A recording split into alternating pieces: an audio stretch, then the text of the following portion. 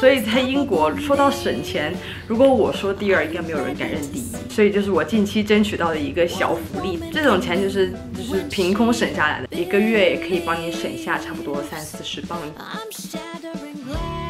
大家好，欢迎回来我的频道，我是一棒。前两天呢，我跟朋友聊天，然后我掐指一算，我在伦敦居然已经住了七年，不知道。我家庭背景的朋友，我简单介绍一下，就是我们家其实本身不是什么做生意的家庭，就是我爸妈都是公司职员，而且我本身住在国内的那种三线城市，所以当年我妈为了供我出国念大学，还卖掉了家里两套房子，才凑齐的这个学费。然后当时我在选。专业的时候我就直接 pass 了，所以我在伦敦大学。所以当年我来英国的时候，我就直接先是在一个小城镇上读了本科，然后之后因为想念的是商科，伦敦的商科会比其他地方的商科会好一点，所以后来我研究生才来伦敦读书。所以加起来我在伦敦一共待了七年，然后在英国待了十年。而这十年间呢，省钱这件事几乎贯穿了我整个十年的留英史。所以在英国说到省钱，如果我说第二，应该没有人敢认第一。所以今天呢，我就拿出我的毕生所学来教大家如何在英国省下一些 pocket money。毕竟蚊子再小也是肉嘛。那感兴趣小伙伴就继续看下去吧。首先说到攒钱，无非就是开源和节流。然后开源的话，除了你在英国正儿八经找一份工作之外，当学生的时候，其实你有很多那种兼职可以做。然后关于在英国找兼职这些事情呢，我之前有一支视频其实讲过，大家感兴趣可以去看一下。今天的主题就是节流。那说到花钱，其实无非就四件事：衣食住行。那我今天的小配布呢，全部都是围绕着四点展开的。我觉得衣食住这三件事都还有 argue 的余地，就是说你比方说吃的稍微差。一点，或者穿的稍微差一点，或者说住差一点的区，然后房子没有那么贵以外，我觉得形是你 argue 空间最少的一点，因为它是比较属于基础设施的东西。然后在英国，交通真的是我觉得贵到离谱，国内小伙伴可能真没有办法理解英国的交通到底有多贵。在伦敦，你如果是上班族的话，你比方早高峰、晚高峰，你九点钟之前要到公司的话，你赶早高峰去上班。我是住二区，你从二区到一区的价格就直接是三点三还是三点四磅一趟，然后按照现在的汇率来算的话，差不多就是三十块钱。那你一天早高峰晚高峰就直接六十块钱了，所以你一天光出个门你就要花六十块钱。在国内很多人一天都挣不到六十块钱。我刚来英国，就是刚来伦敦的时候，被这个物价真的是有冲击到。所以在出行这件事情上，除非你就是像我一样买辆自行车，每天骑车上下班。但是我知道很多朋友还是会住在伦敦比较偏远的地方，比如郊区这种地方。如果你住的地方是三区以外的话，其实每天要骑自行车通勤已经是比较不现实的了，一定是要乘公交的。所以在行上，如果我们要省钱的话，我们一定要办的一张卡就是这个 Oyster 卡。但是呢？Oyster 卡有几个选项可以供你选择，一种是 Pay as you go，还有一种是 Monthly Card。然后我先讲 Monthly Card 好了，Monthly Card 就是等于是国内的月票，就是比方说你一个月花多少钱，然后地铁随便坐。然后这样子的话，我住在二区嘛。二区到一区的价格是百六十四磅左右一个月，也就是说一天要花到五磅多这样子。其实也就意味着说，如果你每天都需要在早晚高峰的时候通勤，这张卡办 monthly card 才有价值。然后如果你是学生的话，其实你可以另外办一张学生卡，然后它是那种绿色的，然后你这边会贴上你的照片，然后用那个卡去买 monthly card 的话，会打百分之三三折扣，所以就是划下来是。一百出头这样，我觉得这样子是比较划算一点的，但是还是很贵。而且我知道很多学生包括工作党现在都是，呃，hybrid，可能一一周只需要去个两三天这样。所以其实 monthly card 我个人是从来没有办过，就觉得不是特别划得来。所以我的奥斯卡一般都是 pay as you go。那如果你跟我一样用的是 pay as you go 的支付方式的话，我这边就要强烈推荐大家一个。神器就是 Rail car 我觉得在英国应该没有人没有听说过 Rail car 这个东西吧？就是它分呃十六到二十五跟二十五到三十，但其实是同样的价格，就是三十磅一年，然后火车票会直接打百分之三三折扣给你。但是很多人不知道的事情是，Rail car 可以绑定 Oyster 卡，也就是说你坐地铁的钱也可以打百分之三十三折扣，但这个折扣仅限 Off Peak Time，就是非早晚高峰时段使用。所以其实我一般都是。这样子在使用我的 Oyster 卡，然后这个时候呢，我就要请出我的金主爸爸 Tramp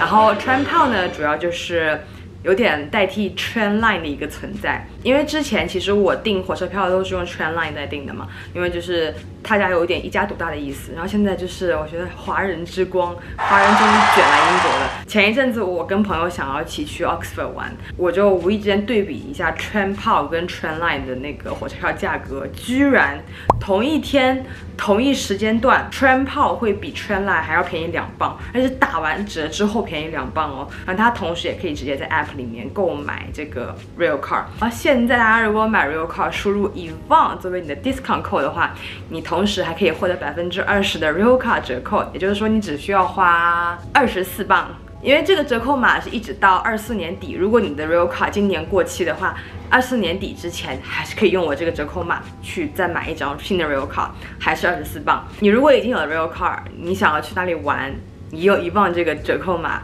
你的火车票可以再减百分之五，所以就是我近期争取到的一个小福利，带给我所有就是长年以来支持我的观众朋友，就是我确实也很感激大家在我的频道里面留言，然后给予了我很多的支持，就是我之前真的是度过了一段非常难过的时期，然后就是也是因为有大家留言，才让我觉得说啊，人活着还是有意义的。心希望大家这个折扣码呢可以使用愉快。然后说到吃，其实嗯，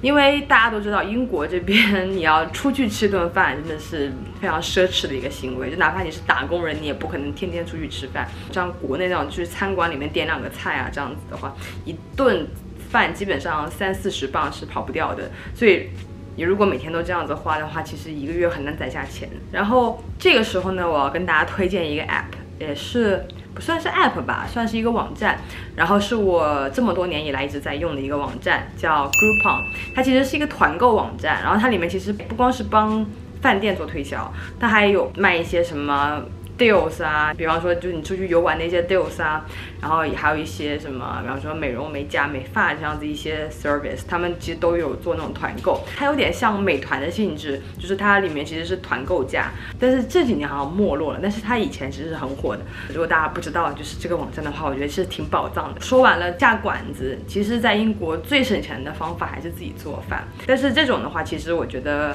就比较看你家附近的超市本身是什么了，因为其实买菜这种事情，你也不会说啊，因为 Lidl 比较便宜，然后你还特意坐公车跑去比较远的一个地方去买菜。我觉得就主要还是看方便什么的。然后除了就是大家就众所周知的，你一定要去办那些超市的会员卡。我最近发现一个宝藏小 App 叫 Jam Donut，然后它就是类似于一个嗯 Cashback 的功能，它是。可以在这个 app 里面购买这个超市的 gift voucher，然后现场使用。然后我一般的使用方法就是，我会在商店里面先把那个所有要买的菜都买好，然后在付款机上面把钱刷出来，哦，知道我这单要付多少钱之后，我去这个 app 里面去输入我需要买的 gift card 的价格是多少。它那个 gift voucher 是秒到账，然后就可以直接拿那个 voucher 去买。然后在这个同时呢，在这个 Jam Donut 这个 app 里面会显示啊，你这单有多少的 cashback。虽然说百分之三、百分之二这种就不是什么大钱，这种钱就是就是凭空省下来的，不然的话你也是要把这钱花出去的嘛，就是所以还是很划算的。说如果你积少成多的话，然后就是这个 cashback 产生了以后，你可以直接把它兑换到你的银行账户，所以就是我最近发现的一个还是蛮宝藏的一个就是省钱的 app，这个是没有赞助的，但是就是我个人觉得很好用，然后你可以用我的 refer 码注册，然后好像可以直接获得四磅左右。然后说到 cashback。另外一个我觉得非常好用的网站就是 Top Cashback。就其实我在刚来英国的时候用过另外一个 Cashback 网站叫 Quickle，就是这个东西我觉得好古早。因为最早期我刚来英国一四年的时候，我觉得 Quickle 的页面 UX 设计更 user friendly 一点。我觉得那时候 Top Cashback 它的那个网页太不简洁了，然后就很难理解他想要干什么。就那时候我觉得 Quickle 很方便。然后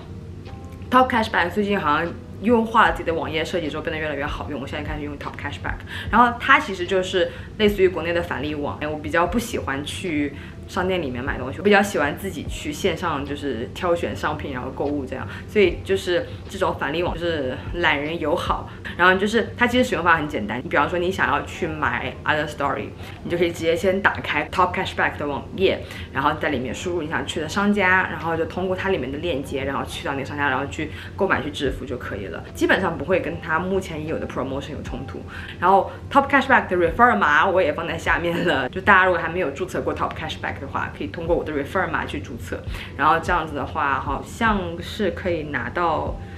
二十磅还是二十五磅，我不记得了，反正就是，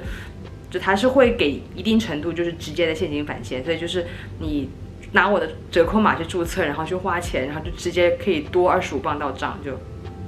不是很好？好，最后我们来讲到住。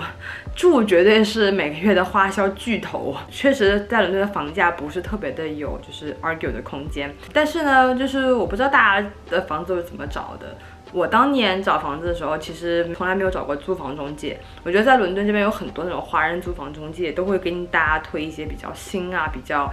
贵的楼盘，因为很多中介会觉得中国小朋友比较有钱，但是我就是没有钱嘛，所以这时候我就会用一个本地人都会用的一个租房软件，叫 Spare Room，然后它里面很多都是房东直租，然后甚至是当地的一些外国人转租，所以就是价格会比较亲民一点，就是比较 local 的价格。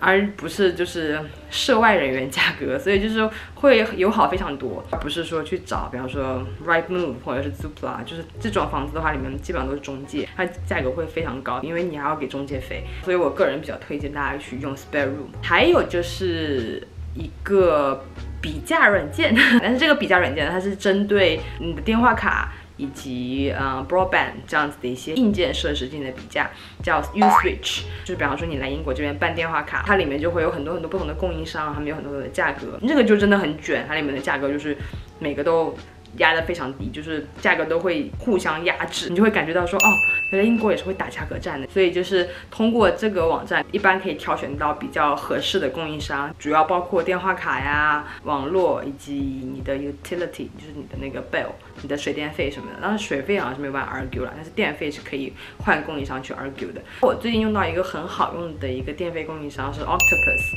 那它就是比较清洁型能源的一家公司，他们的电费相对而言。会比其他公司都要低一点。那个供应商也挺年轻的，然后就是有很多自己的一些小政策，比方说啊，你用电之后可以攒什么 Octopus Points，然后你可以用这些 Points 他们的合作商店里面去呃消费，就等于是抵现金来使用，然后就有点像一个 Energy Bank 的感觉，就是你花他们的电，然后他们电会给你返现。所以我觉得。嗯，大家如果最近在挑选电力供应商的话，其实也可以考虑叫 Octopus。我还有把我的 referral 的那个码放在下面，大家如果有需要的话可以自取。就是啊，好像它现在的 referral 规则是新用户可以获得五十磅的一个 credit 啊，就是我作为老用户也会获得五十磅 credit 这样。然后最后一点，关于住房有一个隐性福利，就是学生党可能不需要知道，但是工作朋友除了要交房租之外，你还需要交 council tax。就这个东西呢，如果你是学生的话是不需要交的，但是如果你是工作党的话，你就会需要交这部分钱。